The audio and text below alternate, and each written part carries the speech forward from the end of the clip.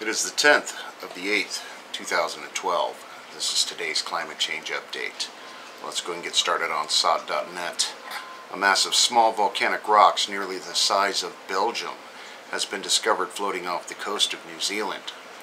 The stretch of golf ball sized pumice rocks was first spotted this week by a New Zealand Air Force plane about thousand kilometers or 620 miles northeast of Auckland Island. Uh, the rocks, da, da, da, the rocks stretch for about 26,000 square kilometers or 10,000 square miles. That's a huge amount of pumice. A Navy ship, ship took scientists to the rocks Thursday night. Naval Lieutenant Tim Oscar says the rocks appear to be brilliant white under the spotlight, like a giant ice shelf. He says it's the weirdest thing he's seen in 18 years at sea. Scientists say the rocks likely spewed up in an eruption by an underwater volcano. Uh, they don't believe the eruption is connected to the onshore ash eruption this week of another volcano, Mount Tongariro. And uh, they've got yet another volcano going off in that area. Uh, Ice Age cometh. Rare snowfall stuns residents of Johannesburg, South Africa. First time in history all nine provinces get same uh, get the same amount of snow on the same day. Uh, people slowly came outside despite the cold and wind Tuesday across South Africa, pointed their mobile phones, cameras to the sky, opened their mouths, and tasted the rare snowfall uh, that fell on much of the country. The snow began on Tuesday uh, morning. Part of an extreme cold snap is now biting into a nation still in its winter months. And by uh, mid-afternoon, officials recorded snowfall across most of South Africa. A rare thing indeed. First time in history. And another story on uh, a new island, question mark. Puma stuns New Zealand's Navy. And they've got photos of that, of course. Over to the extinction protocol. Lightning seen erupting in New Zealand's White Island volcano. Uh, so this is what, three going off in the New Zealand area. Flashes of lightning have been reported coming from the White Island as the volcano continues to erupt since Sunday. Uh, White Island, which lies 48 kilometers off the Bay of Plenty coast, was raised to volcanic alert level 2 after a surveillance camera capturing a small eruption from its crater last week. And uh, yeah, that, that eruption continues. And a previously extinct volcano raised to eruption warning level in Colombia. Uh, eruption would be the first in recorded history. Uh, the recent increase in seismic activity on the, under the Sotará volcano prompted, prompted uh,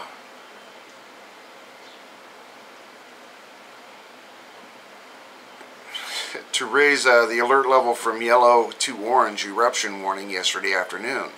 Uh, the increase has been detected on June 24th, and since that date, 6,891 earthquakes have been recorded, i.e. average of 150 quakes per day.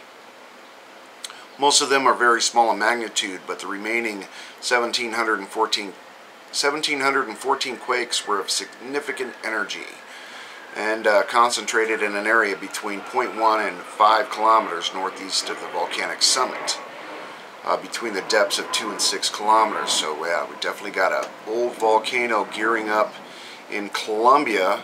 And uh, this just after I covered that story about uh, the hydrofracking where they want to tap into dormant volcanoes and pump millions of gallons of water down into the rock uh, to get the heat out for energy.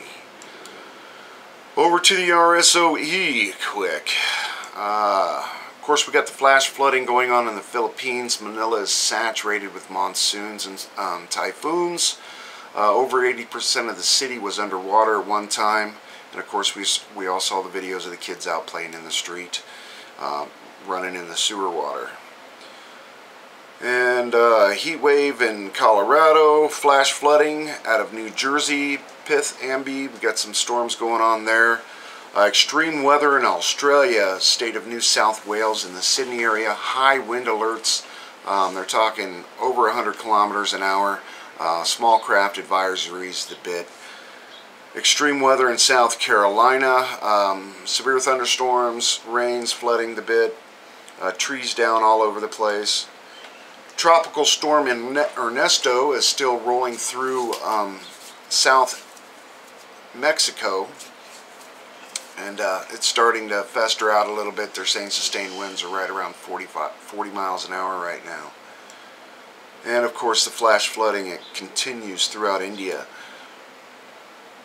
And finally tonight, let's go over and go to uh, the nuclear stuff, ENENews. Uh, there's not a lot real new going on. National Guard, giant sinkhole is growing in Louisiana. Test for radioactive materials in air and water under underway.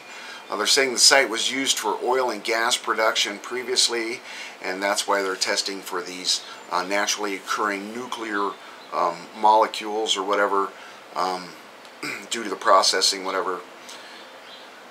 And uh, they're saying they're telling um, the Texas Brine Company, the ones that, that own the, the big caverns underneath that they store gas, uh, to drill a well immediately uh, to test and see what's going on. They're saying the hole grew over 20 feet um, since they last tested it on a flyover kind of thing and it's definitely, definitely an ongoing situation in Louisiana in the um, Corn Bayou.